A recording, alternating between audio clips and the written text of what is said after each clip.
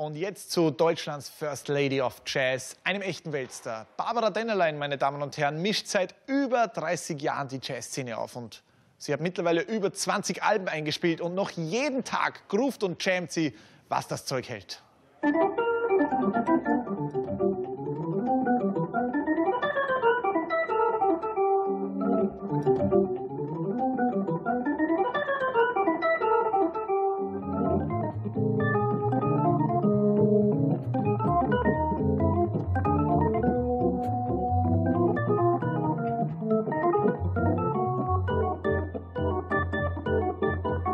Man darf ja auch nicht anfangen, darüber nachzudenken, weil wenn man anfängt nachzudenken, was spiele ich jetzt da, dann ist es ja schon grundverkehrt, weil dann können die Emotionen wieder nicht mehr so fließen.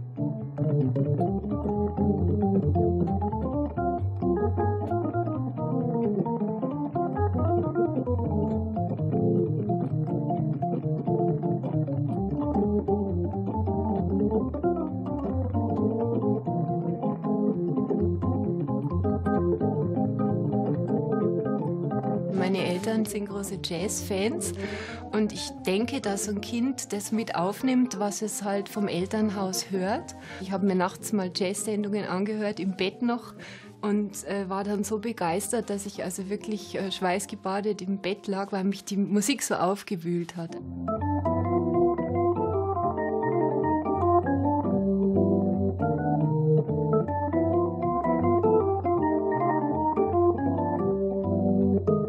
Ich habe eine Orgel geschenkt bekommen äh, zu Weihnachten und mein damaliger Lehrer, der hatte zufälligerweise diese Hammond B3 und da habe ich das äh, als Elfjährige das erste Mal gehört und das hat mich total fasziniert. Dieser Klang hat mich einfach berührt.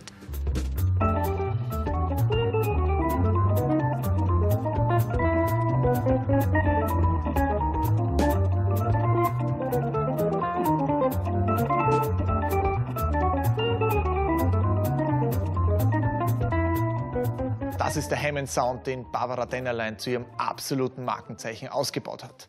Aber sie geht natürlich auch immer wieder neue Wege und hat neue Ideen, wie zum Beispiel Jazz auf einer Kirchenorgel. Dann entwickelt sich unter ihren Händen die Orgel zu einem echten Musikkraftwerk. Man kann sagen, zu einem tanzenden Riesen. Ich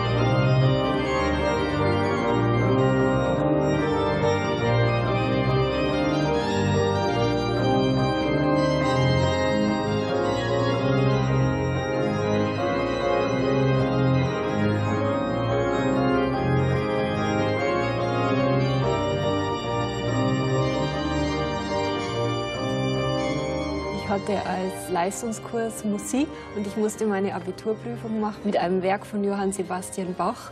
Und das hätte man normalerweise an der Kirchenorgel spielen sollen, durfte ich aber damals nicht, weil man wusste, dass ich ja Jazz mache und das war also damals noch nicht so erwünscht auf diesen Instrumenten. Und man hat mich an keine Kirchenorgel gelassen. Das endete dann damit, dass ich also mit Sondergenehmigung vom damaligen Kultusminister zu Hause bei mir auf der Hammond-Orgel meine praktische Prüfung gemacht habe mit ähm, Johann Sebastian Bach.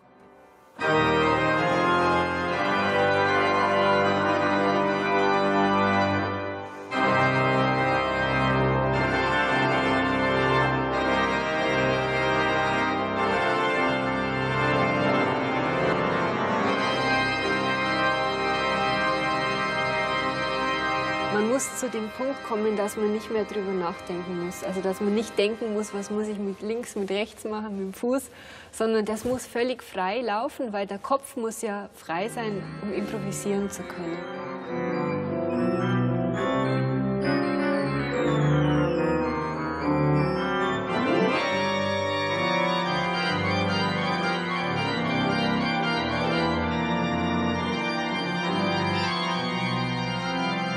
Wenn ich spüre, dass der Fluss da ist, dass das funktioniert, dass es von mir aus super läuft und dass es die Leute das auch so empfinden, dass diese Übermittlung der Gefühle, dass das ankommt und wenn ich dann am Ende die Leute sehe und sehe strahlende Gesichter und sie stehen auf und applaudieren und sind begeistert, das ist für mich eigentlich ein unheimlich tolles Glücksgefühl, was einem auch so die Energie wieder gibt.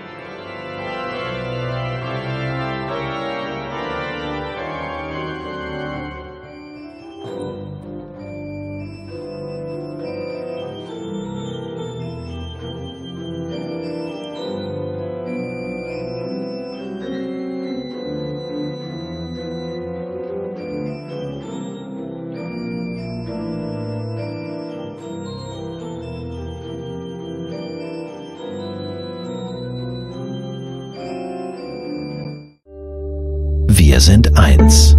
ARD